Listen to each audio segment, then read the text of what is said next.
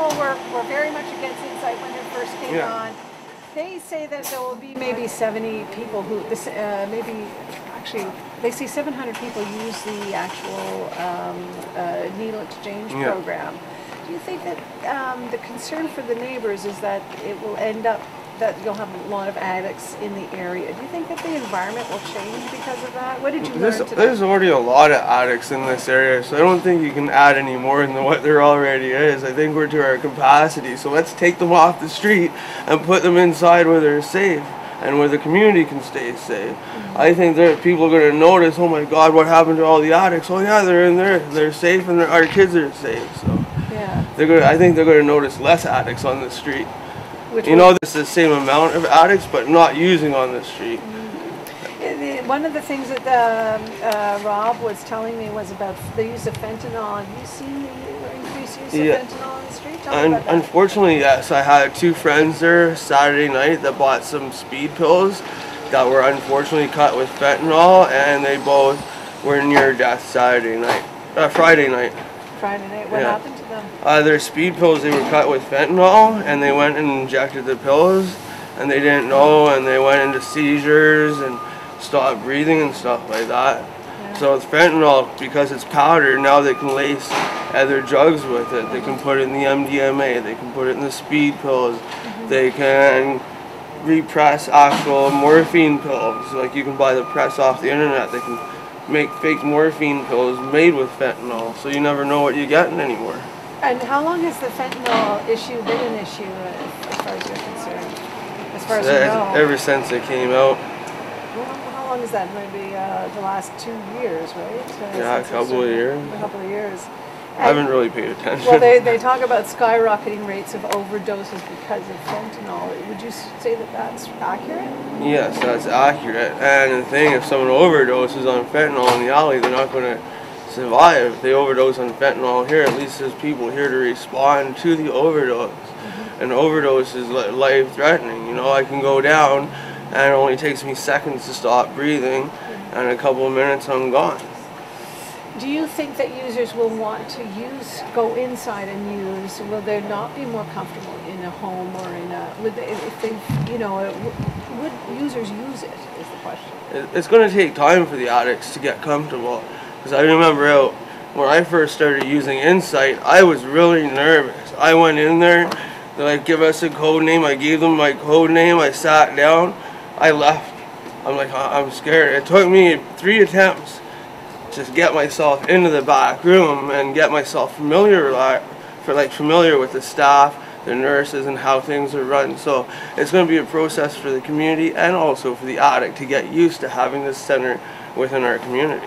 And once you started using it, what was the, uh, why did you keep coming back? I felt safe. Uh, I overdosed there a couple of times and they were able to respond. And then when I had enough, Insite helped me get into Cordova Detox, kinda, because I connected with some staff at Insite. I went to Cordova Detox, got myself detoxed and sober, and then they helped me get a bus ticket back to Ottawa. Because I said, look, I got to get out of Vancouver because I'm going to die in your center. How long you been clean, Darren? I'm not clean. Oh, you're not clean? I'm not So clean, what are you but using today? Uh, mainly opiates. Yeah, mainly opiates? Yeah, Okay. and that's a really dangerous drug to use, especially alone. That's why I would come to use the center. Even though I have housing, I feel more secure in the center. How many times do you use a day? Uh, three times roughly, and once in the morning, so I feel Yeah, okay, so I'm not dope sick. Once in the afternoon, once I before I go to bed. I'm trying to do a harm reduction thing and bring myself off the opiates without having to use methadone. So you'd be in here three times a day using these facilities to make sure that you didn't overdose. At, at least once a day, because I live such a distance. It'd be travel time, but I try to come in at least once a day, if not twice a day. Now, Cordova out in Vancouver, tell us a little bit about that experience and why you relapsed. Did you have the intake resources you needed at the Insite if you said, I want to quit? Did they have the resources ready to intake you? Tell us a little I- bit about that. I don't think I wanted to quit. I just wanted to get out of Vancouver. Right. I, I was going down too fast and too hard. I, when I came back, I was 105 pounds. You're originally from Ottawa? I'm originally from Smith Falls, just outside of Ottawa. So So tell us about what your future is moving forward to getting off the drugs. Are you seeking any addiction counseling or are you just going to use the room? No, right now I'm with the ICM program, the Intensive Case Management Program through Oasis here at Sandy Hill. And over the past three years in the ICM program, my drug usage has declined. Good. I have taken steps through harm reduction programs to get myself clean and sober eventually. You know, I want to do it on my time. I don't want someone to say you have to go to a treatment center and be clean in six months. You know, I don't think I'm mentally ready because I have the mental health issues too. So I have both issues to address, Yeah. and it's going to take time. But Oasis here has beautiful programs, and I think this safe injection site that they want to open would be a beautiful addition to their already existing programs that they have. What do you think the biggest challenges for addicts on the street in Ottawa is today? The police. The police. Tell us a little bit about that. Uh, they're very mean to us.